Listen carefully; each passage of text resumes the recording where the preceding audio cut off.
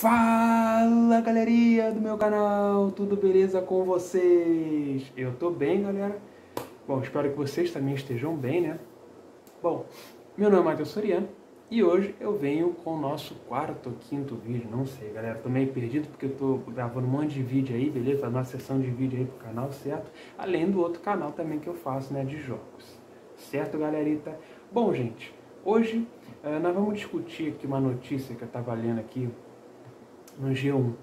Tá? Uma notícia até interessante, por sinal. E como eu disse, né, aqui no canal a gente tem que falar temas variados. Livremente, vamos falar temas variados, certo? Vou dar minhas opiniões, lógico, respeitando cada um, respeitando a opinião do próximo, beleza, galera? É, eu não quero difamar ninguém, nem quero expor ninguém, beleza? A gente vai apenas... É, vamos comentar, né? Vamos, vamos fazer uma, um papo aqui, uma conversa sobre um determinado assunto. O assunto de hoje, galera, é, que eu vi no, no G1, até resolvi trazer isso para o canal, é o seguinte. Isso aconteceu na Bahia, tá? Eu estava lendo aqui, eu vou ler para vocês rapidinho o título. Olha, idosa de 121 anos, 121 anos, é descoberta, entre aspas, né, após atendimento médico na Bahia.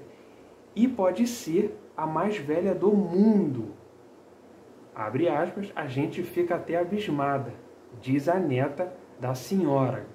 Então tá aí, ó, a Maria Gomes dos Reis, né? A senhora, que é 121 anos, nasceu, né? Quando foram ver a certidão lá de nascimento dela, viram que estava escrito 16 de junho de 1900. Curiosamente, 16 de junho, né? Um, é, um mês depois é meu aniversário, né, galera? É em Bom Jesus da Lapa, tá? Onde ela mora até hoje. Pelo menos é o que diz aqui a notícia do G1. Eu estou lendo para vocês, não é minha opinião, estou lendo aqui o que está escrito no G1, beleza? No site do, do G1 vocês podem conferir também, a notícia de hoje, por sinal, dia 3 de maio. Mas para vocês vai ser dia 4, né, galera? Ou dia 5, eu não sei, tem que ver quando que eu vou publicar esse vídeo. Então, gente, eu fiquei meio que abismado com essa notícia. Assim, eu fiquei impressionado, digamos assim. A senhora de 121 anos, galera. 121 anos. Olha, como a gente vive atualmente, eu não consigo ter nem noção do que é isso. Cento, viver 121 anos. A senhora conseguiu viver é, um século e duas décadas. Um pouco mais de duas décadas. Um século e um pouco mais de duas décadas. Eu, eu, eu não consigo imaginar isso. Por que, que eu não consigo imaginar isso? Porque a média, galera, se vocês analisarem a média de idade atualmente, está entre o que? Beirando aí 70, 80 anos, se vocês analisarem aí. Então é uma coisa assim abismada, né? A gente fica, como assim 121 anos? Isso parece até mentira, parece até aquelas fake news, né, galera? Mas é uma coisa que eu não quero trazer aqui para o canal. É notícia falsa, certo? Aí aqui está dizendo, né?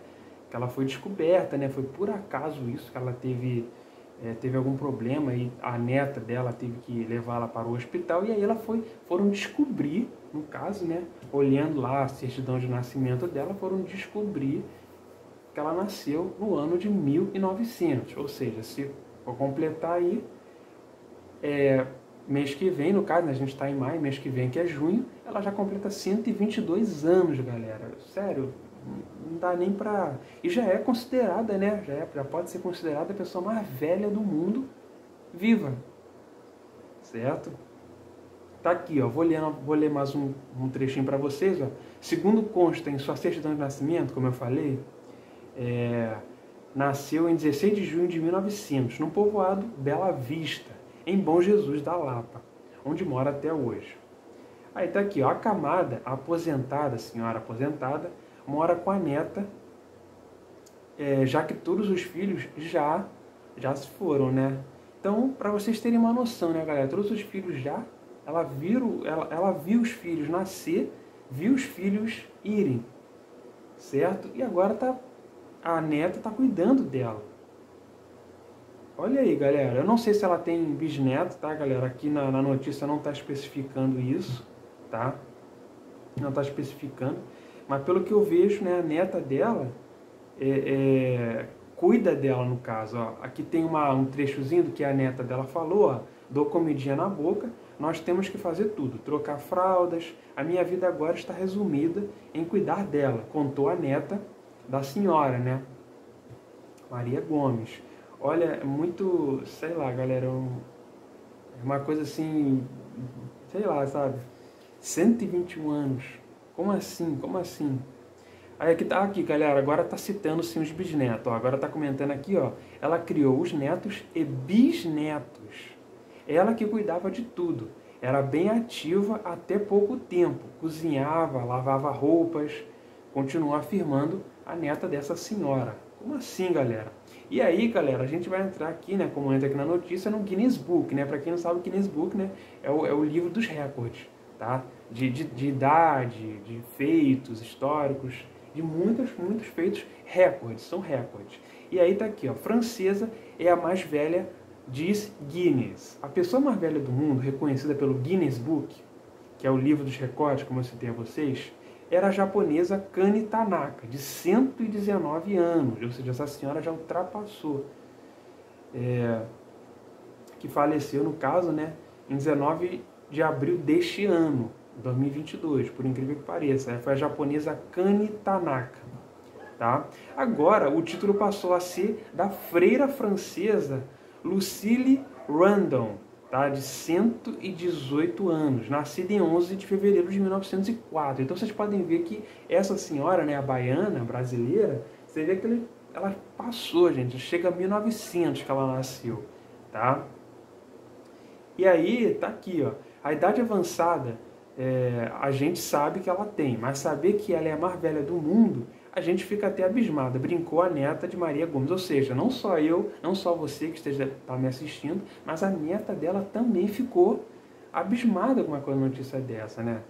Poxa, a pensou, gente? Vocês têm aí a, a sua avó, o seu avô, e ele, é, sem querer assim, é descoberto que é o, o, a pessoa mais velha do mundo atualmente. Eu ia ficar abismado, né? Eu, eu também não ia ter outra reação, né? Aí aqui tá, família na quinta geração.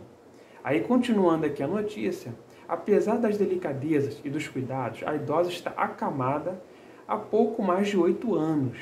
Antes disso, não faltava uma missa, então ela era católica ali, ó, sempre ali na igreja. E aí no total, galera, ela tem 13 bisnetos, tá? 13. Seis, ela tem tataraneto, então ela tem 13 bisnetos seis tataranetos e a família tem a expectativa uh, de que a Maria Gomes, né, a senhora, veja a quinta geração nascer. Além da neta, as bisnetas também, né, Vitória, Stephanie e Ivanilde Gomes, cuidam de toda a burocracia que a aposentada precise. Ou seja, ela é. O bom é que ela está né, em boas mãos. As netas estão lá cuidando direitinho, os bisnetos, né, provavelmente. E aí uma outra neta dela, a Vitória, comentou aqui, ó, sou responsável por ela, porque ela não tem condições de se locomover para fazer prova de vida. Eu que resolvo algumas coisas por ela, contou a neta Vitória, né? A jovem afirma que a bisavó ainda conversa com as pessoas, apesar das dificuldades do e do esquecimento. Óbvio, né, galera? Chegar a essa idade, né? Mas mesmo assim, a senhora tá ali, ó, firme e forte. É... Aí a outra neta dela, né, a Ivanilde, foi morar com a Maria quando tinha seis anos e é muito grata pela educação e apoio oferecida pela idosa. E aí outra neta dela comenta, ó, nunca me faltou nada. Ela sempre falava a seguinte frase, que eu levo para a minha vida. Vai estudar, menina. Se hoje eu consegui fazer uma graduação, foi graças ao incentivo que eu tive da minha bisavó. Ou seja, hoje em dia ela é grata pela boa educação que a avó deu a ela. Entendeu, galera? Então, é uma história assim comovente. Bom, aí encerra, né, essa notícia aqui, essa senhora aqui, essa idosa de 121 anos, termina aqui essa notícia. E aí, galera, conforme eu fui falando aqui a notícia, né, narrando a notícia, eu fui dando minha opinião. Bom, é, assim como as netas, né, eu também fiquei abismado, como eu disse no início do vídeo. Não sei vocês, galera, comentem aí embaixo o que, que vocês acharam também é, dessa senhora. Não sei se vocês já viram essa notícia, tá? Pelo que eu tô vendo aqui, essa notícia saiu hoje no G1, dia 3 de maio. Eu não sei quando eu vou publicar esse vídeo, talvez no dia 4 ou no dia 5, beleza?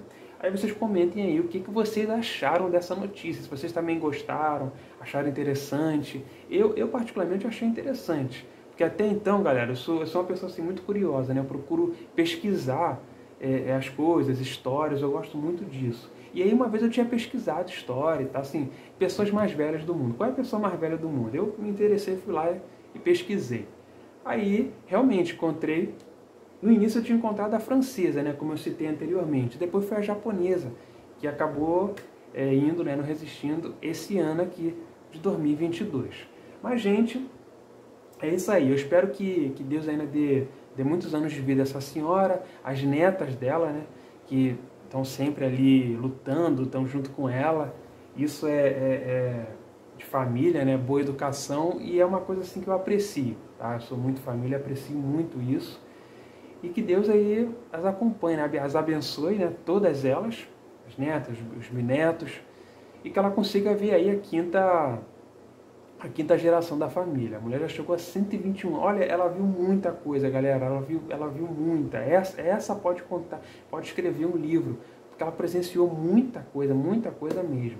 Bom, gente, então esse aí o vídeo de hoje, né? Foi só para contar um pouco, narrar e dar um pouco da minha opinião sobre essa notícia que eu achei interessante e resolvi trazer aqui para o canal, certo, galerita? Bom, gente, então é isso aí. Eu vou ficando por aqui. Muito obrigado por ter assistido, certo? E aí depois eu venho com outras notícias, outras novidades e a gente vai sempre comentando aqui.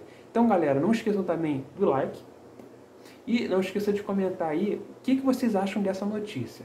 Certo, galera? Eu quero ouvir também a opinião de vocês. Lembrando, gente, por favor, vamos respeitar o próximo, tá? Respeito é uma coisa que tem que ter todo mundo tem que ter, certo? Respeitando sempre o próximo, sem xingamento, sem palavrões, porque vocês vão acabar sendo banidos, vocês mesmos vão se prejudicar, tá? Vão sendo banidos pelo próprio YouTube. Então é isso aí, galera. Vou ficando por aqui. Fui que fui. Bye, bye. Tchau, tchau.